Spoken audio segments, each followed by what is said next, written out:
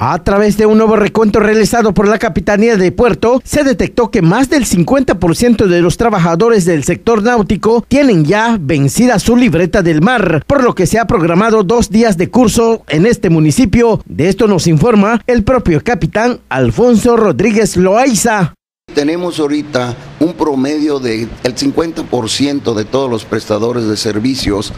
que tienen vencida su libreta de mar y quiero avisarles a todos ellos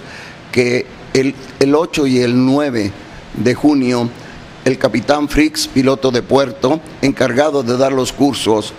tiene programado un curso para todos aquellos que tienen vencida su libreta de mar y que les va a dar un descuento del 10% para que todos aquellos que no han tenido, no han sacado su libreta puedan obtenerla a través de su curso y lo hagan.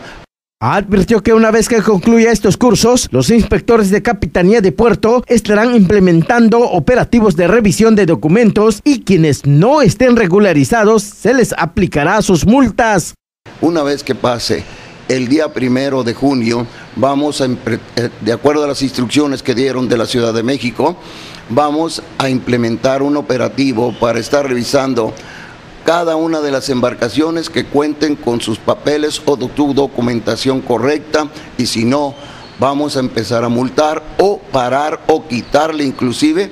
su permiso, todo aquel que no cumpla. No puede haber excusas de nadie, puesto que le estamos avisando con anterioridad y se les está dando por parte de los instructores el 10% de descuento.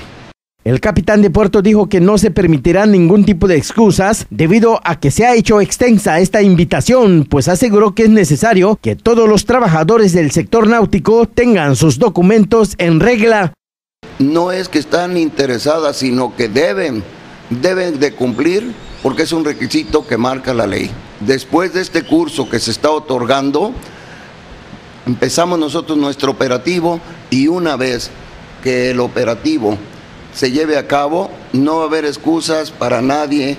para que ellos tengan su documentación necesaria. Para Reporteros Sin Fronteras, con imágenes de Benjamín Carrillo, informó Ponciano Paul.